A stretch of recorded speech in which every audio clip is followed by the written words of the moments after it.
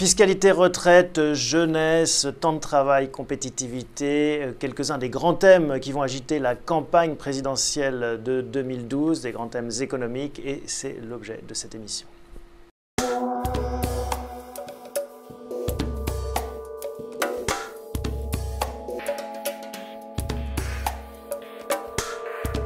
Olivier Ferrand, bonjour. Bonjour. Vous êtes le président de Terra Nova, un think tank, comme on dit, hein, une fondation proche de la gauche. Euh, vous-même, vous avez été euh, proche de Lionel Jospin, que vous avez accompagné à Matignon, de Romano Prodi à Bruxelles, où vous avez travaillé euh, au niveau européen, et de DSK, que vous avez accompagné pour les précédentes primaires. Une première question, vous avez milité pour l'organisation de primaires hein, l'américaine en France. On y arrive. Est-ce que vous avez un favori, vous, à titre personnel? Euh, non, euh, Terra Nova a contribué à, effectivement à la, paternité intellectuelle de, cet objet euh, démocratique nouveau.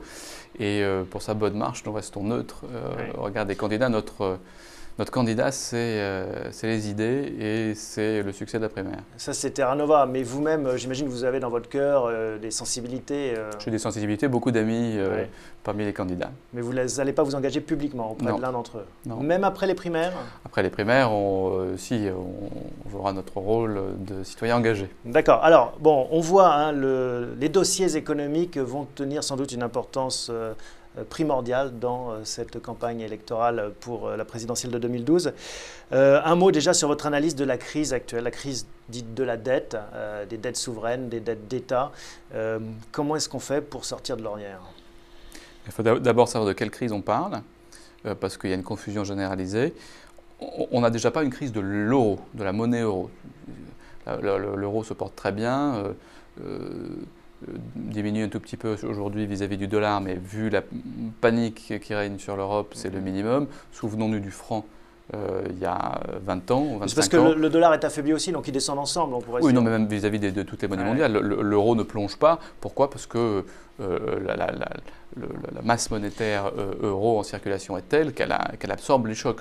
Donc aujourd'hui, heureusement qu'il y a l'euro qui nous protège. Ceux qui militent pour la sortie de l'euro sont des irresponsables euh, qui, sont de, qui représentent un grave danger pour l'avenir de notre pays et, Donc il de nos territoires. Donc il ne faut pas sacrifier l'euro. Ça, c'est la bottom line. Euh, c'est le bottom line, mais ce n'est pas un bon sacrifice. L'euro nous protège. On, 60% de notre commerce extérieur se fait au sein de la zone euro, donc il est déjà complètement protégé.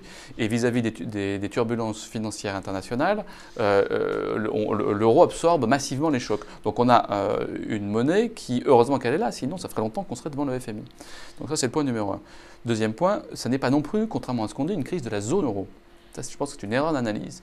Euh, la zone euro est euh, à l'épicentre de la crise parce que sa gouvernance est défaillante et donc c'est le domino faible euh, du, du, système international. Quand vous dites ça, ça veut dire que le problème, ce n'est pas la Grèce en tant que telle et que c'est pas est-ce que la Grèce fait partie de la zone euro ou pas?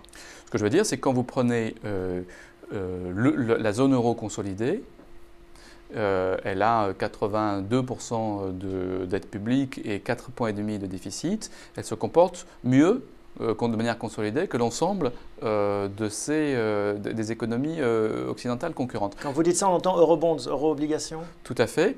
donc le problème, c'est qu'on n'a pas une vision consolidée, mais qu'on a une vision, on, a des, des, bouts fragmentés qui se baladent tout seuls. Et, et, dont certains se portent mieux et d'autres moins bien, comme la Grèce. Et donc la, la, le, problème de la zone euro, c'est sa gouvernance. Et si on veut régler le problème spécifique de la zone euro, il faut régler son problème de gouvernance. Mmh. Ça passe par un saut fédéral euh, avec un, ministre, un vrai ministre des Finances de la zone euro, c'est-à-dire qui pilote les finances euh, qui, euh, au moins de manière comme à l'échelle d'un pays. Comme à l'échelle d'un pays, qui pilote vraiment les finances publiques et la politique économique de la zone. et deuxièmement, une solidarité euh, financière en Europe euh, qui passe euh, soit par un renforcement massif du Fonds européen de stabilisation financière, soit par le, saut quantique, les eurobonds. Tout ça est vrai. J'ajoute un point, c'est que la zone euro a un problème de gouvernance, mais ce n'est pas une crise en soi de la zone euro, c'est une crise de la dette publique occidentale. Il n'y a, a, pas une spécificité européenne. Tous les pays occidentaux nous vivons le grand moment de la désoccidentalisation du monde. Ça passe notamment par le fait que tous les pays se sont surendettés pour maintenir artificiellement le pouvoir d'achat de ses citoyens qui dégringolaient. Euh, et donc c'est vrai aux États-Unis, c'est vrai au Canada, euh, contrairement à ce qu'on raconte, le Canada est dans une situation aussi dégradée que nous, plus dégradée que nous que, en matière de finances publiques. C'est vrai au Japon, c'est vrai dans tout l'Occident. Nous vivons une crise de la dette publique occidentale. Le fait que les autres aient des problèmes n'est pas une consolation en ah soi. Ah non. Et il faut sortir de cette crise. Mais ce qui veut dire, ce qui veut dire que la réponse, la vraie réponse, elle est sur la dette publique occidentale. Je veux dire, c'est bien de euh, vouloir euh, faire des eurobonds euh, et donc de consolider la zone euro. Mais la zone euro, elle est comme les autres, elle est en situation financière, pas plus, mais à peine moins dégradée, et avec 80-85% de dette publique, on est déjà dans le rouge. Donc avec, même en faisant un saut quantique fédéral, consolidant toutes les finances publiques de la zone euro, mm-hmm. on aura gagné quelques mois peut-être quelques années au mieux. mais ça nous pose quand même le problème du désendettement. Exactement. On va y revenir, mais euh, à très court terme, on voit bien donc votre vision, euh, fédéralisme européen, gouvernance économique, euro-obligations. Euh, ça, ça prend du temps. On a des opinions qui sont plutôt réticentes, qui n'ont pas prouvé une europhilie extraordinaire. comment est-ce qu'on gère cette crise actuelle de marché financier qui se joue seconde après seconde avec cette échelle qui prendra forcément du temps et qui n'est pas forcément euh, appelé euh, des vœux des peuples européens? Si on parle de réforme euh, de, réforme de l'Europe De fédéralisme, en fait. le bah, fédéralisme a toujours eu du mal à progresser. Ah, mais, mais, on, est au pied du, on est au pied du mur. Je crois que le, le, les marchés ont besoin de, rétablissement de la confiance, donc il faut leur donner euh, ces gages de confiance, sinon nous aurons une crise systémique dans quelques mois, voire dans quelques semaines. Euh, et, euh, il faut aller. Maintenant, on est au pied du mur, donc il faut aller. Donc vous attendez à des mesures spectaculaires, des annonces spectaculaires des exécutifs européens Au pied du mur, oui. C'est ça ou la mort? D'accord. Alors, le désendettement, est-ce que ça va être un enjeu pour 2012 important Le premier enjeu, diriez-vous? Ça va dépendre, euh, ça va dépendre des marchés. Si on est euh, dans la situation euh, depuis actuelle, enfin depuis, depuis août, ce sera un enjeu central. Si on a basculé dans la crise systémique, on parlera d'autre chose. Ce sera, on sera dans le, sera dans le monde d'après. Oui, dans la survie. Oui, on sera dans le monde d'après. Et ça, c'est un scénario que vous n'écartez pas?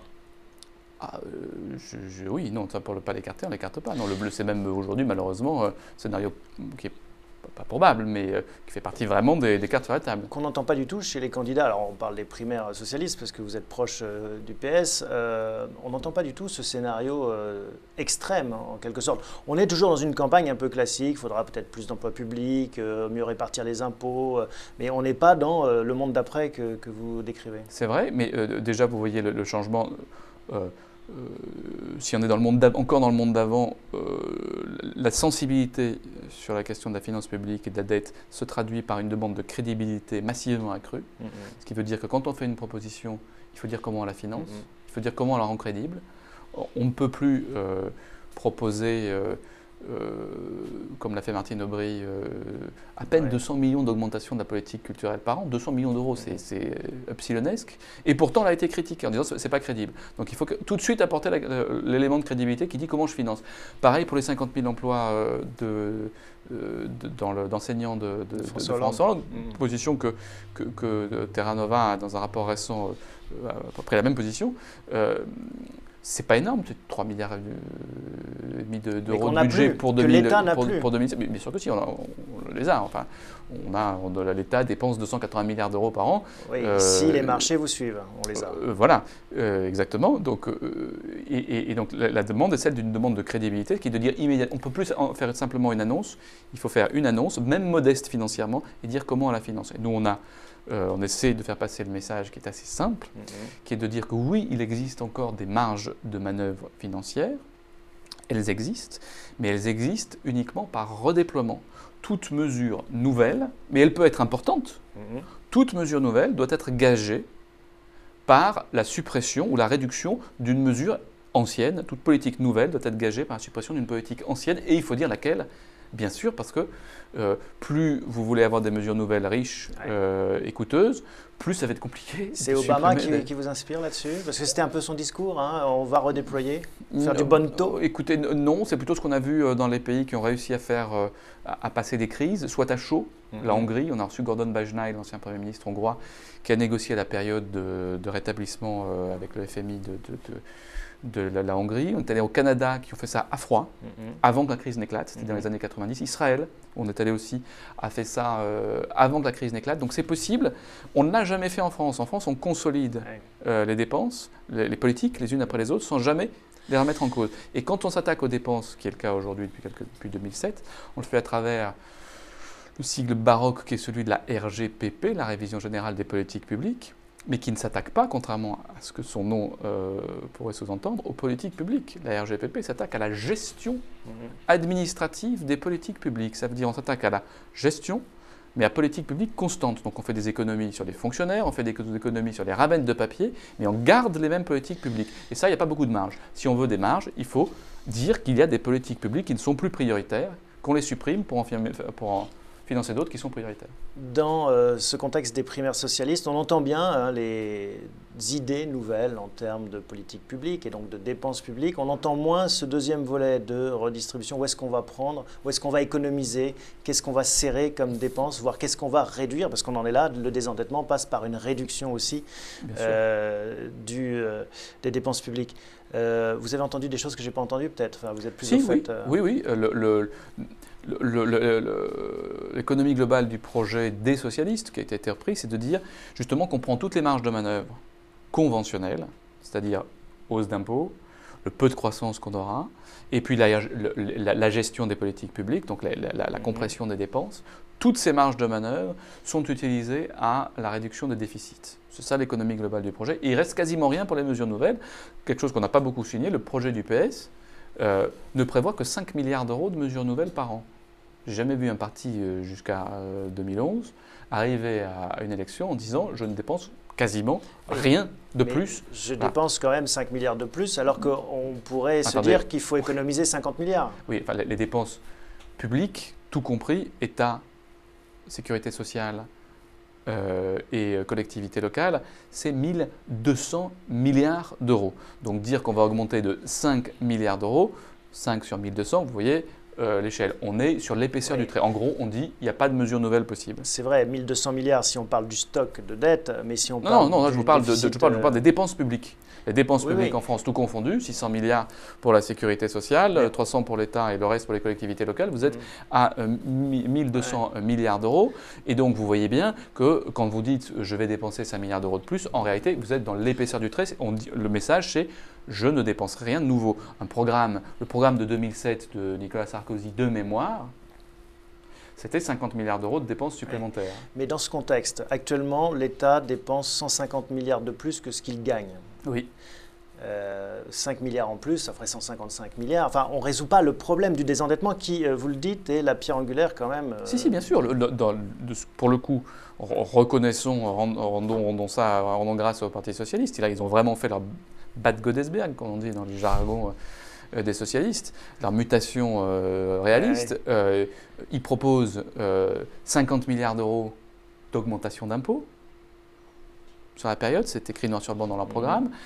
ils proposent d'affecter les, points de croissance c'est-à-dire une vingtaine de milliards d'euros sur, sur, le, sur le...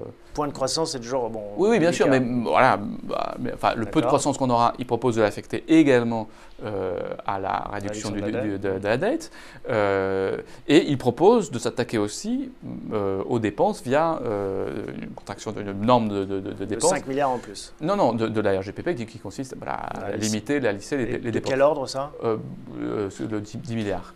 Donc le, vous avez un équilibre qui est globalement sur, sur les recettes, euh, mais, vous, avez un effort, euh, vous avez un effort tout à fait sérieux et vous avez une perspective de finances publiques qui revient à l'équilibre à, la fin du mandat. Pour, pour discuter sur la rapidité, mais en gros.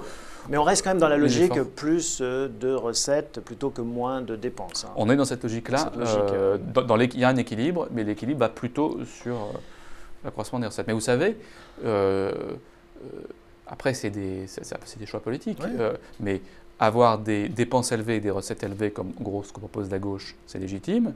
Avoir euh, des dépenses, des recettes basses et des dépenses basses, ça, ça propose la droite, L'équation reste la même. Mais par contre, vous avez deux perversités dans les deux camps.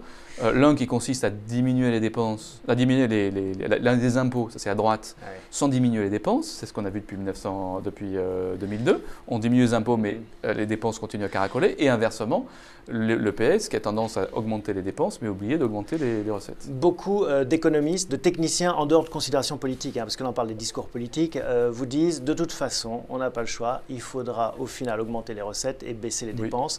Est-ce que là, il n'y a pas un, risque, à droite comme à gauche, qu'on déçoive euh, les électeurs une fois de plus en faisant une politique qui n'aurait pas été clairement affichée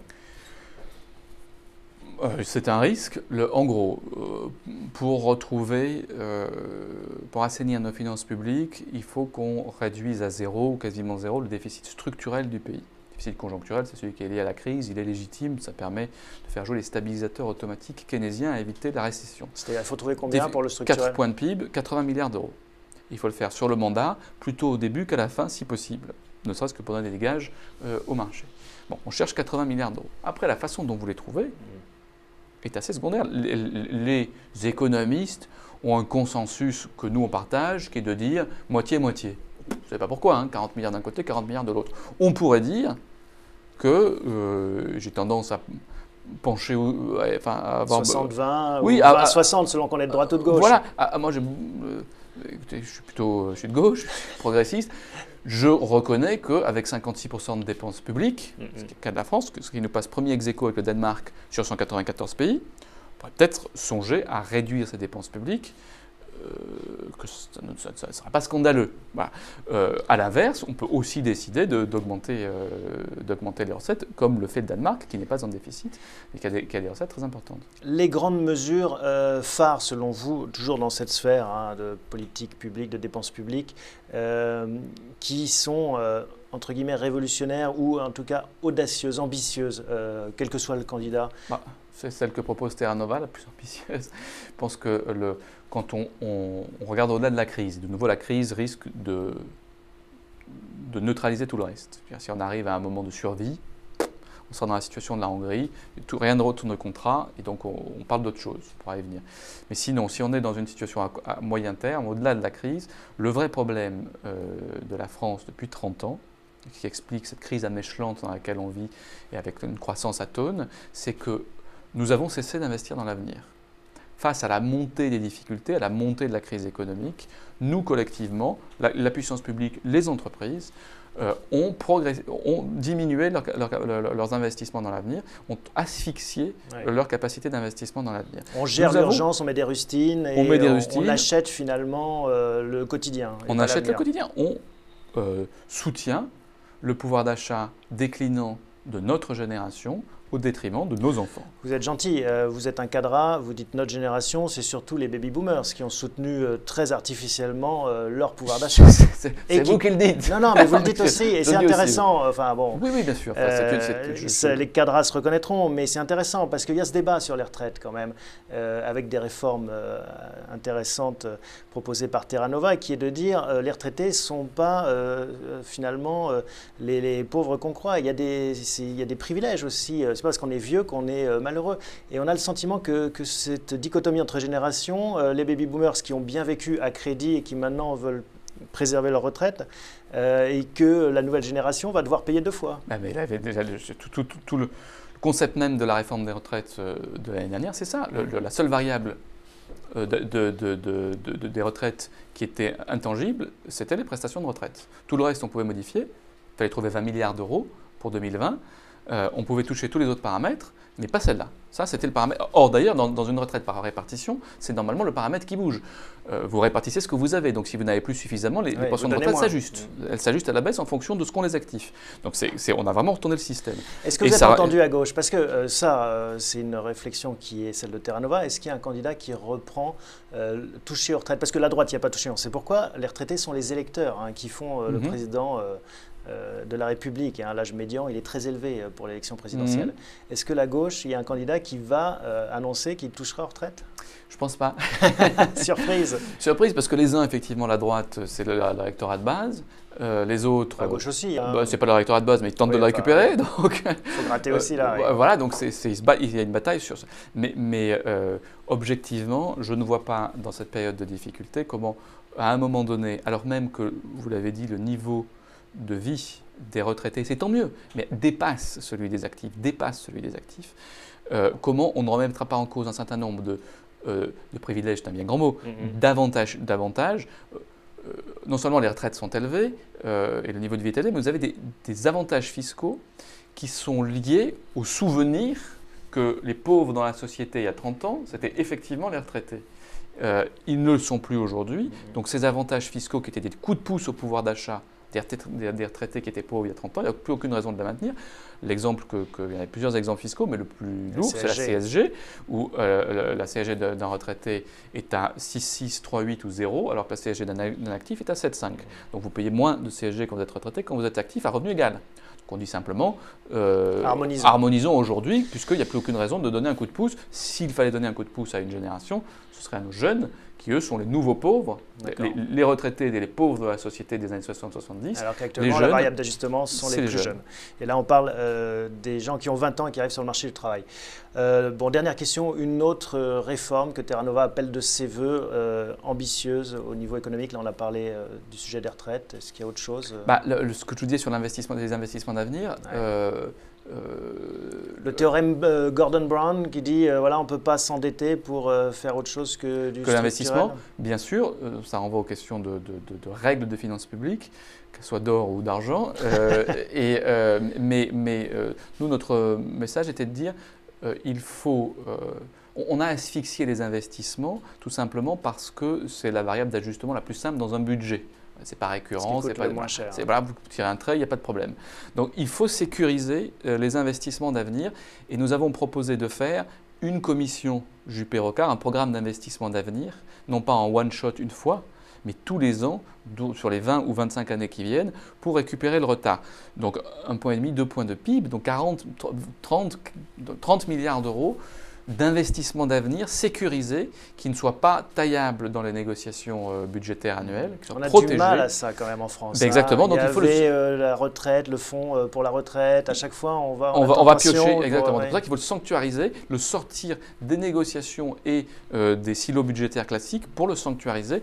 Des économistes qui ne sont pas spécialement à gauche, Jacques Delplat et Charles Viploz, disent que la France a aujourd'hui 400 milliards d'euros de retard d'investissement cumulé depuis 20 ans, depuis que la crise euh, est née, depuis qu'on sacrifie notre investissement. 400 milliards. Donc c'est ça la priorité sur les budgets publics, parce qu'il y a une partie d'investissement public, d'amorçage de pompes, et sur les budgets des entreprises, qui elles aussi investissent trop peu par rapport aux standards internationaux. Elles investissent trop peu parce que leur taux de profitabilité est trop faible. Et donc, ce qu'on propose, euh, mais ça, ça a été repris par le PS, euh, c'est de baisser le taux d'impôt. Nous, on propose de supprimer le taux d'impôt sur les sociétés pour les bénéfices réinvestis, pour qu'on flèche ces bénéfices vers le réinvestissement. Et, euh, dernier point sur l'investissement, parce qu'on on dit souvent la France est est le, paradis des investissements internationaux. D'après les, les, chiffres officiels, nous sommes deuxième ou troisième selon les années euh, pays d'attraction des investissements internationaux. C'est un mensonge d'État, parce qu'on met dedans euh, la circulation financière euh, interne au groupe. Donc vous avez votre holding, votre holding financier aux Pays-Bas, le siège au Luxembourg, la, centrale de réassurance en Irlande, tout ça circule et chaque fois ça compte comme un investissement. Il y a zéro investissement réel. Euh, euh, on y met aussi tout ce qui est rachat d'entreprise. Euh, donc Mittal rachète Arcelor, ça vaut un investissement. non, c'est juste un changement de propriétaire. Il n'y a pas d'investissement greenfield, d'investissement de terrain. Et quand vous regardez les investissements de terrain, ça correspond à la réalité qu'on sent. Il y en a 2, 3, 4 milliards d'euros au maximum dans les meilleures années. 2 milliards d'euros d'investissement international par an dans notre pays. On n'est pas assez attractif. fonds du classement. Il faut que les politiques redeviennent plus pro-business. Pro-business et que le, vrai sujet quand on parle de protectionnisme, c'est tout l'inverse. Ce n'est pas le protectionnisme, c'est l'attractionnisme. Si on veut tordre les règles euh, de, l'économie internationale, ce n'est pas pour empêcher les produits de rentrer, c'est pour mhm. tirer les investissements qui, pour qu'ils viennent chez nous. C'est là où on va vous brandir euh, la compétitivité, le temps de travail, euh, les charges sociales. Oui, euh, la gauche a fait son, euh, sa mue euh, là aussi. Elle défendait avant une politique de la demande keynésienne exclusivement. Et la politique d'offre, c'est une politique de droite, supply side, c'est fini. Alors, on a beaucoup poussé à ça, mais c'est passé. On a maintenant dans le programme du PS une politique économique qui est une politique de compétitivité. Euh, et donc d'offres. Simplement, elle diffère de la droite. Vous avez en gros deux grands types de, pour en stylisant, hein, c'est jamais aussi caricatural que mhm. ça, deux grandes politiques de compétitivité possibles. La première, on va dire c'est celle de la droite, c'est la politique de compétitivité prix. Faut, euh, modération salariale, suppression des charges sociales et donc de l'État-providence qui va avec, TVA sociale et euh, d'évaluation déguisée. Ça, c'est le modèle, on va dire, Merkel-Schröder allemand, poussé à l'extrême. Euh, que, que, la droite tente d'accommoder à la France. L'autre politique de compétitivité que, défend, que nous on défend, c'est la politique de compétitivité qualité, valeur ajoutée, qui consiste à mettre ses marges de manœuvre politiques et financières ailleurs. Ça va être sur la recherche, sur le financement de l'innovation industrielle, la, commission GP C'est pas juste se payer des mots, ça, se dire on va faire mieux, en fait, c'est euh, dépenser mieux, faire plus de. C'est pas mieux, c'est euh, nous avons 400 milliards d'investissements euh, industriel de retard, 400 milliards. Donc il faut mettre de l'argent là-dessus. Et c'est de l'argent sur, sur la valeur ajoutée. Euh, Mais avec des effets très long terme, pour le coup, euh, avant que ça se traduise en croissance, en emploi. Oui, mais si on ne le fait jamais, ça, ce long terme, il n'arrivera jamais. Mais, mais prenez ce truc-là. l'iPhone ou l'iPad, c'est les, les, tablettes ou, les, ou les, smartphones les plus chers du marché, les plus chers. Et pourtant, c'est ceux qui se vendent le plus. Ce n'est pas le problème de prix, c'est un problème de valeur ajoutée. Un mot, euh, une dernière euh, Et des pays y arrivent, hein, les pays nordiques.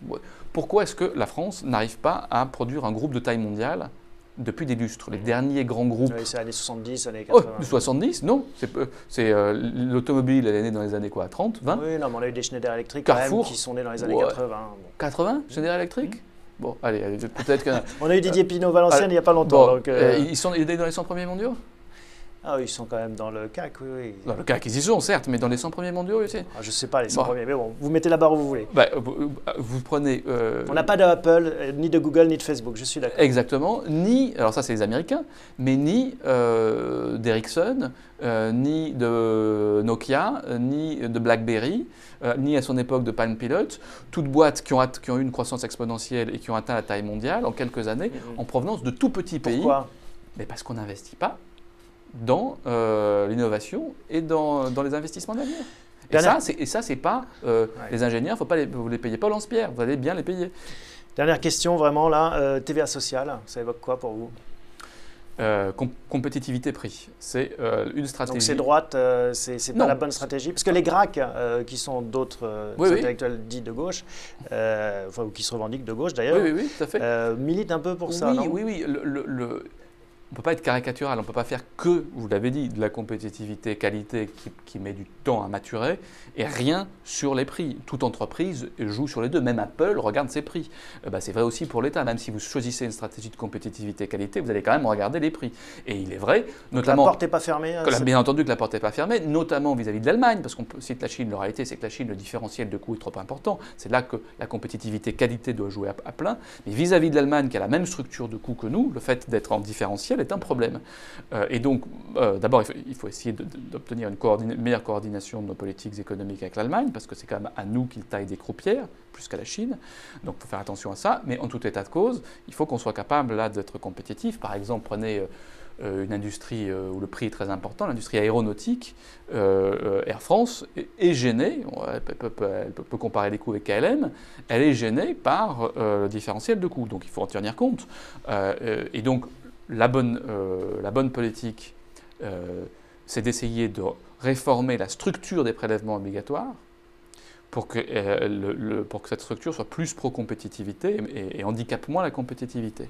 Comment est-ce qu'on fait? Bah, Il faut baisser les, charges sociales, le coût du travail. Comme nous, on ne voudra pas toucher au salaire, mhm. toucher euh, aux charges sociales. Ce qui est déjà une grosse euh, avancée hein, de, la bouche euh, de représentants de, tout à fait, la gauche. Tout à fait. Donc, et là, tout le monde est à peu près d'accord sur le tous. J'ai entendu François Hollande, Martine Aubry, Manuel Valls dire qu'il fallait baisser, mhm. pour restaurer la compétitivité prix, baisser les charges sociales des entreprises non pas les faire disparaître, parce que sinon vous tuez l'État-providence, mais les transférer, faire un transfert de prélèvement obligatoire vers un impôt qui ne gêne pas la compétitivité des entreprises. Et qui pourrait être la TVA sociale. Alors il y en a trois possibles. Il y a la TVA sociale, ça c'est ce que propose Manuel Valls. Mhm. Le, le, c'est le plus efficace, mais c'est injuste. En tout cas, c'est pas forcément injuste. Quand on dit c'est injuste, euh, on paye euh, à proportion de ce qu'on achète. Oui, un riche qui va acheter une Ferrari va payer plus de TVA qu'un pauvre, pour caricaturer, qui achète une Twingo. C'est sûr, mais rapporté aux revenus, euh, la TVA pèse plus sur euh, les classes moyennes et populaires que sur les classes les plus aisées. Passons. TVA sociale. TVA sociale, mais enfin c'est une option. Moi, je n'ai vraiment pas de, mhm. à titre personnel, absolument aucune euh, objection idéologique. Mais il est vrai qu'il faut faire attention parce qu'il y a des problèmes de justice sociale. Euh, le deuxième, la deuxième possibilité, c'est de le transférer sur la CSG, mhm. qui, qui, ne cesse de monter, qui devait durer un an ou deux. Et un excellent impôt à la CSG parce que ça sort du travail pour aller toucher le capital. Donc vous avez, un, vous avez une assiette qui permet de transférer des impôts qui surtaxent le travail vers des impôts qui taxent le capital. Et trois. le troisième élément, ce que propose François Hollande, c'est euh, de le transférer sur la fiscalité écologique. Alors là, ça resterait dans le monde de l'entreprise, mais ça permettrait de faire des... Euh, des investissements d'avenir. De faire des investissements d'avenir, exactement, et de, différencier entre les entreprises polluantes et celles qui ne le sont pas. Bon, c'est très clair, très intéressant. Merci de nous avoir exposé toutes ces idées. On va voir hein, dans, au cours des mois qui viennent qui reprend quoi et jusqu'où euh, vont euh, euh, ces, idées, ces initiatives. Euh, et puis voilà, que le meilleur gagne. Que le meilleur gagne, exactement. Merci, à bientôt. Au revoir.